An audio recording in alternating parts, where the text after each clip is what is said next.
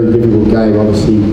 Uh, we, we had three, we got three starters out today, so I was very proud. Like the first half, we showed we could beat this team. You know, with high effort and execution. Um, but then a few things went against us, probably in the third and last quarter. It was, it was very difficult, made it a very difficult game. But uh, very proud of the effort of the players. And uh, obviously Kevin will be back next week. Uh, we had the same effort against the Leopards. Our goal is to just keep getting better because we know we probably play this team. I'm looking forward to playing this team in a five-game series.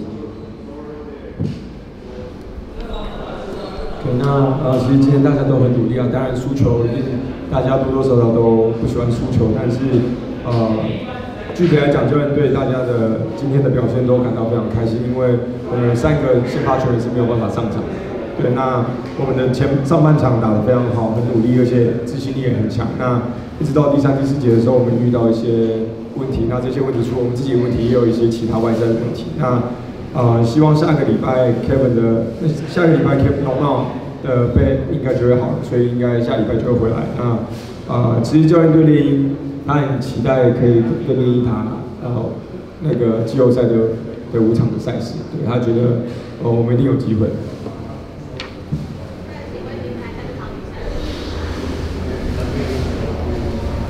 呃，我觉得就是因为毕竟他们有三个大个子嘛，那我们就少了少了 K，也少了 Kevin，那我们进去能扛的可能只剩几个人，那我们就是在一开始教练设定的防守下面去尽量去尽尽量去做做到最好，但是今天这样，我觉得还是有很多可以修正的地方啊，我觉得如果我们再把禁区这些东西做得更好的话，我我们可以赢他们的。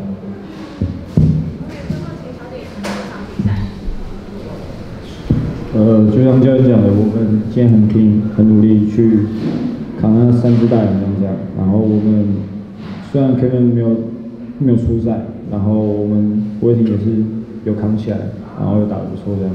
只是我们有些细节没有做好，就是我们领先个七八分的时候，可是可能就不专心吧，然后又被追追回比数，然后又又被拉开这样。所以这是我们该调整的地方。